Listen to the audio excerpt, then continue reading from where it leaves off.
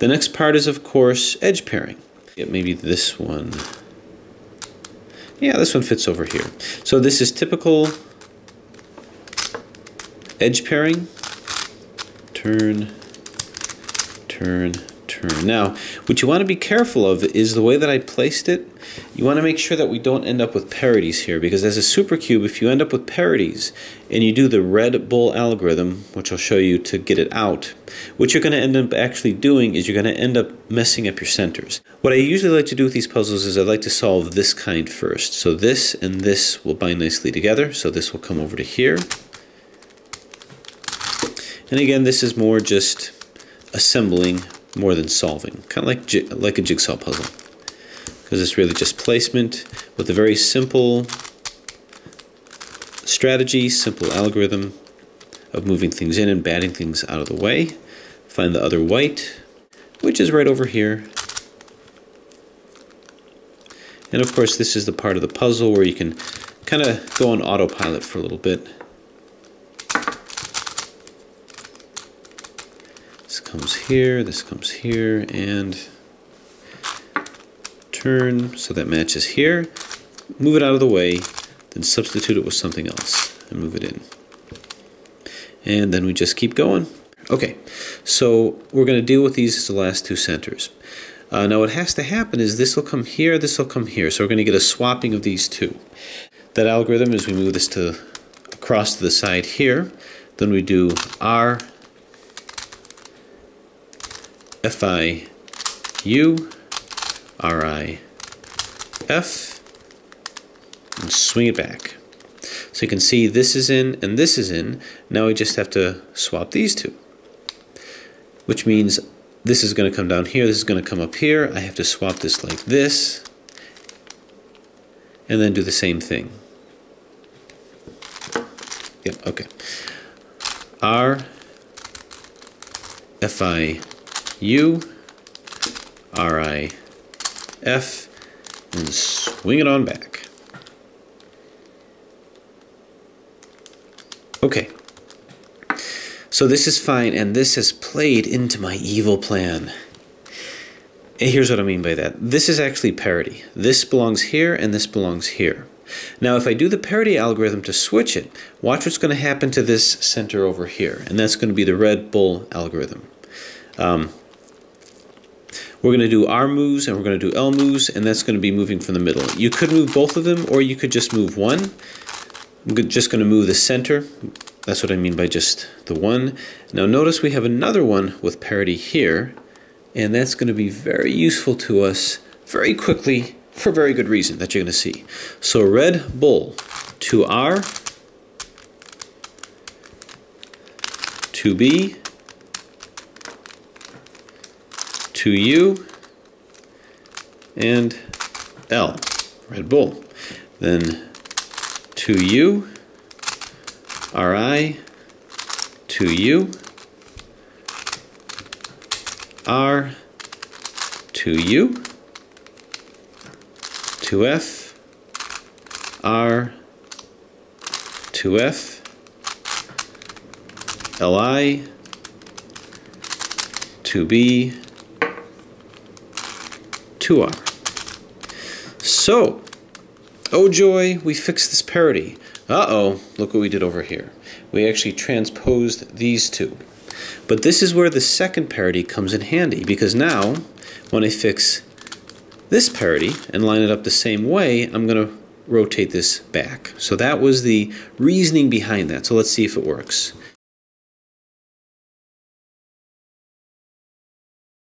Are, and thus is the power of strategy. This is back and this is okay here too. But in any case, we've just reduced this to this at this point. So it's really just a matter of going through the motions and finishing the, the solve with that. So we can start off with the green side here and just start putting things in. I don't even have to worry about coordinating the centers. I know that they're, they're coordinated. Um, but this is going to be the blue side. And the other blue side is here. The other one is this, this green one over here. So what I'm going to do is I'm just going to match them up. Matches up here. Turn this in. and turn this in. So that's looking real nice over here. Now we're going to turn this into a hexagonal dipyramid. We're going to carve that shape out. So let's put this in with the proper side here, turn it in, and we're good over here. I think it'll be more helpful if I turn it like this, then turn it down. And I'm just to keep fiddling about until it makes sense. This makes more sense over here. Double turn this up, and turn this back. So far, so good. Now where's another one with green? It's this one here. So we'll turn this in until I can get this to make sense, which eventually it will.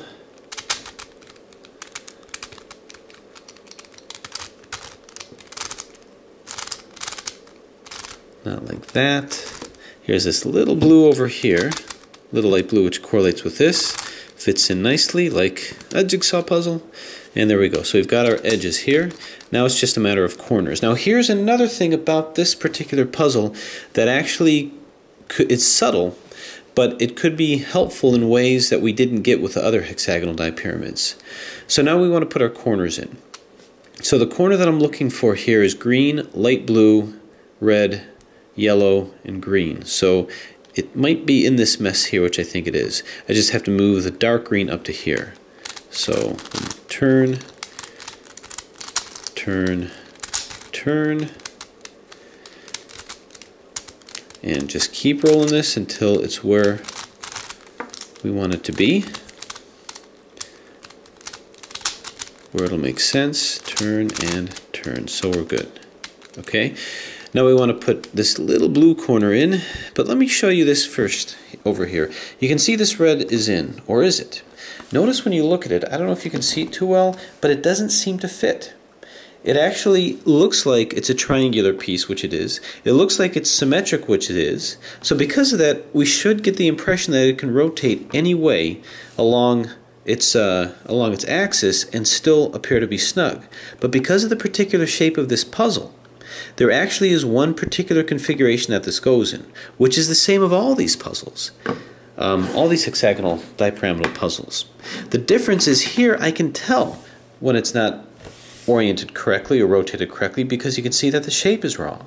So what's unique about this version of this is that I actually can tell if this is um, rotated correctly. In other words, I cannot falsely equivocate this piece based on its rotation. It has one specific rotation, but in this puzzle I can tell when I have that specific rotation, whereas the other ones I couldn't, which means I'm not going to end up with a parity at the end where just this is out and everything else seems to be in, because I can tell this one is out. If that were the case, I'd have to keep rotating this blindly until everything seemed to make sense. So I'm going to move this down turn, turn, I'm just going to keep rotating it around until the shape makes sense. So how about this? And yeah, it might be hard to visualize, but you can see this fits a lot more snug. So that's exactly where it needs to be. Alright, so small white one must be down here somewhere, right over here. So turn, turn. Do we like this? Um, no, I don't think so. So we'll keep turning it. So there's no mistaking the positioning of these little corners. This one looks better. Turn it up and we're good. So that's fine. Now the little blue one, little light blue one rather, over here. So in this puzzle, some things are harder than the others, some things are easier. So there's trade-offs. Turn, turn, still not in to our liking turn, turn, that looks better, turn, so we're good, turn. Okay, so we have our actual corrected first layer here, and now we're just going to rotate our edges in 3 by 3 style. So what goes, what, which one goes here? Well, in this case, it's going to be the purple one, which is here. This is going to rotate in where the green is over here, the yellow is over here turn, turn, turn, turn. So this is like all the other HD puzzles that we've seen. So we're finishing our Oh, we finished our second layer. Now we just have the top. This is the payoff layer of all mods. This is the challenging part. So first step I'd like to do is I'd like to orient it properly. This is oriented properly. And now we take a look and see which edges are supposed to be where. Well, actually we have to see which is rotated correctly. We can see that this belongs here, but it's not rotated correctly. You can also tell because this pink is up when it should be down, this burgundy or brown is down when it should be up. So this is rotated wrong. This is rotated correctly because the, the brown is up, this brown is up, and this brown is down. So we've got these two up, these two down. That constitutes an L formation. So we move the L formation to the left, and then we do the algorithm F, R, U, R, I, U, I, F, I. I know that's going to give me a line formation, which is what it did. Both browns are up here, both browns are down here. So once again, F R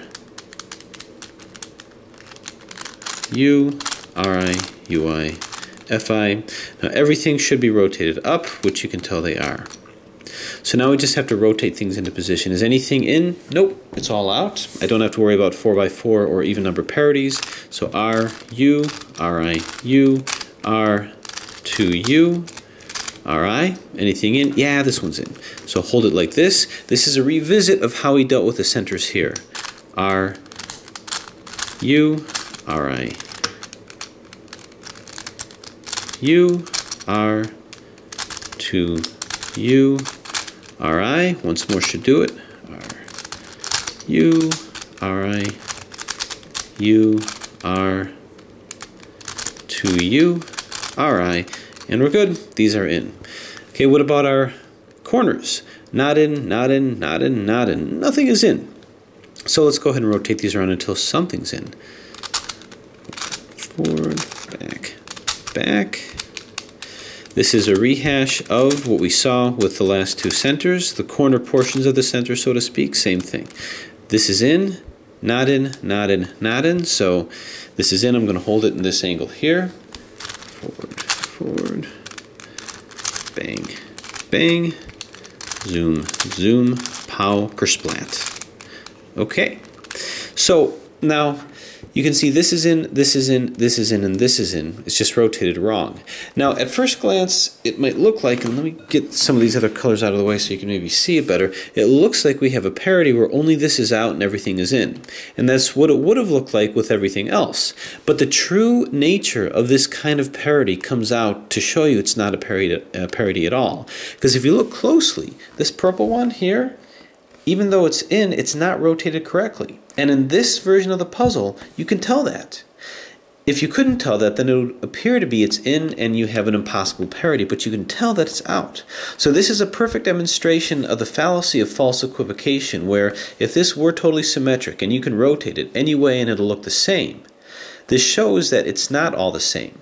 And if we only had a way of marking it, uh, with a specific area that it's supposed to be in, then you could tell that, and this one actually does that. So this shows proof positive what we've been talking about, that not all rotations are the same despite the fact that it might be symmetric. I can tell this one is out, and this one is in, this one is in, and this one is out. So I've got these two that are out. So I know I just have to rotate this and rotate this. So now it's clear to me. Otherwise, I could rotate this, then Oh, let's make sure we have got the right level here. Yeah, okay. So this is right, this is wrong. So these two are incorrect. Now before, if I didn't know which one, I'd turn this in and then move here and just keep rotating it until everything was fine. This would stay out, but now this is out, but I wouldn't know that. I would have equivocated it. This can't be equivocated. So I'm going to go ahead and actually turn this in to show you what I mean. So we've got turn, turn, turn, turn, turn, turn, turn, turn. And I'm just going to do this until it's obviously where it needs to be. Okay, and now what I'm going to do is I'm going to bypass this one because I know that that's in. Now normally what I would have done is I would have rotated that around until the whole thing is solved. Not knowing that this is really out and that's really out, but it doesn't matter because it will look solved. But I don't need to do that. I can go right to here and rotate it around until this looks like it's in. So turn, turn. So this is a fascinating demonstration, proof positive of the concepts that we've been talking about with this. Turn, turn. And I can tell this now looks in, and I can tell that everything was brought into position. And it is now solved. So, first time solve of a five layer hexagonal dipyramid. The benefit of this was showing how to handle the um, last two centers of a 5x5 supercube, and also to demonstrate this last layer fallacy of false equivocation where um, you appear to have parity where just one is rotated out, but now you can actually visualize the fact that these, although they look like they should be symmetric, they're actually not, how these are not rotated any direction and equivalent to being solved. So there you have it. Very fun puzzle. Uh, really, really fun to use. Turns excellent, uh, as is indicative of Rafael's style and craftsmanship. So thanks for watching.